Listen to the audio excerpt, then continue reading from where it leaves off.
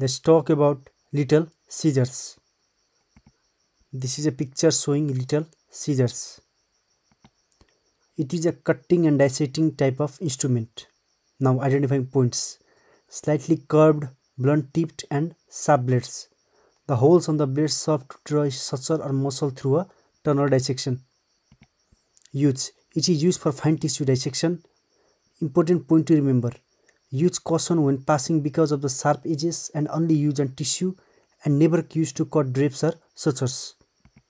End of the topic.